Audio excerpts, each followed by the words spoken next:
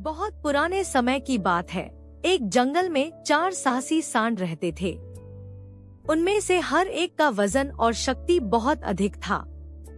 वे उन जंगल के नियमों का पालन करते थे और अपने परिवार की देखभाल करते थे।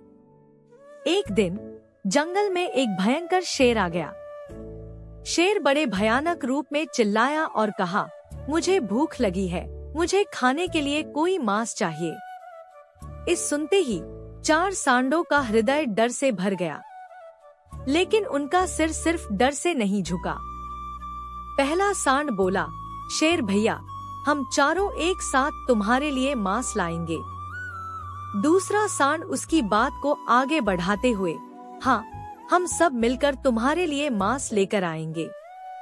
तीसरा सांड भी उसके पीछे आया, हम सब तुम्हारे लिए मांस लाकर देंगे, पर हमें केवल एक शर्त पर है। कौन सी शर्त? शेर ने उत्साहित होकर पूछा।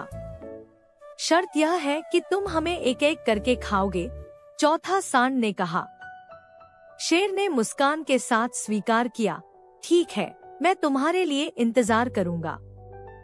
चारों सांड जंगल में घूमने लगे और वे मिलकर एक बड़े से एक मांस लेकर आए। वे शेर के सामने पहुँचे और पहले सांड ने अपना हिस्सा दिया। शेर ने उसे खा गया और फिर दूसरे सांड को बुलाया। इसी तरह, चारों सांडों ने एक एक करके शेर को खाया। और जब चौथा सांड बारी पर आया तो उसने शेर की आँखों में एक चाकू मारा। शेर चिल्लाया और गहरे दरार में गिर गया।